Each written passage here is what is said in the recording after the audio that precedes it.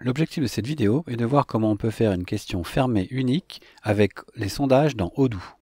Donc là, je retrouve mon enquête de satisfaction avec ma première section votre profil et je vais créer une première question.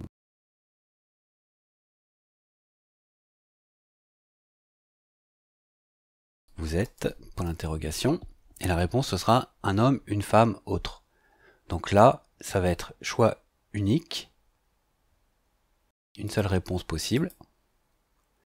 Et ici, je vais ajouter les choix. Donc un homme, une femme, autre.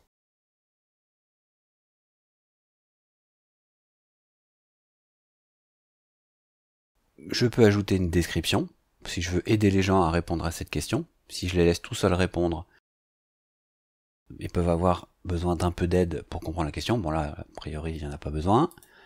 Et option, je peux rendre cette question obligatoire. C'est-à-dire que les gens sont obligés de me répondre pour valider le questionnaire. Autoriser les commentaires.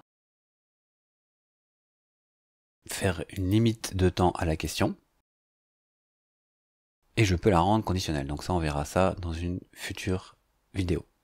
Là, je vais faire sauvegarder et fermer, mais je pourrais faire enregistrer et créer, ça lancerait la création d'une deuxième question.